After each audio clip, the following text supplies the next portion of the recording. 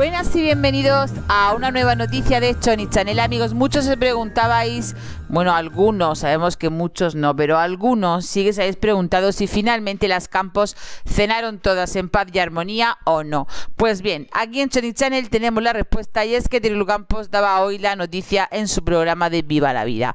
Finalmente no hubo reunión de las campos, no hubo Nochebuena familiar y según Teres Terelu es porque hubo una razón de peso. Sí.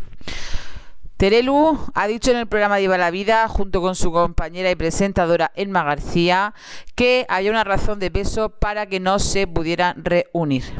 La verdad es que todo el mundo se estaba asombrando porque nadie pensaba que no se iban a reunir, ya que según Carmen Borrego las últimas informaciones que dio era que toda la familia iba a cenar junta. Pero por lo visto en el último momento resulta que Carmen Borrego tuvo un contacto con alguien que era positivo en coronavirus y por supuesto por sentido común, por precaución y sobre todo para que la matriarca de la familia no pudiera sufrir ningún contratiempo, decidieron Carmen Borrego en este caso y su familia, eh, su familia decidimos pues su marido y sus hijos no acudir a esa cena familiar.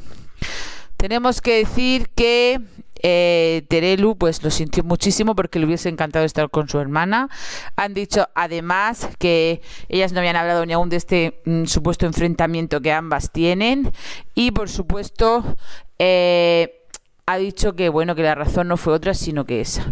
Muchos les ha parecido una razón un poco de casualidad.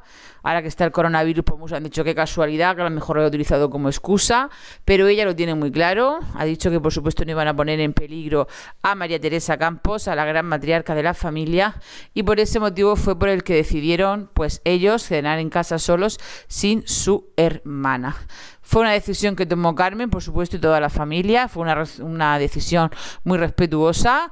Y nada, pues ahí queda. Hay algunos que se lo creen, otros que no se lo creen, pero bueno, no hay mejor ahora que ver pues qué hace Carmen, si sale, si no sale, si guarda su cuarentena, como imaginamos que tendrá que guardar.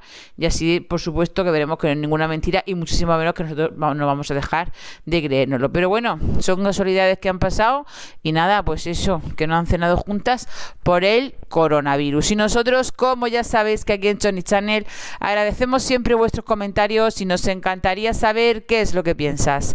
Gracias por confiar en nuestro canal Johnny Channel, tu diario rosa.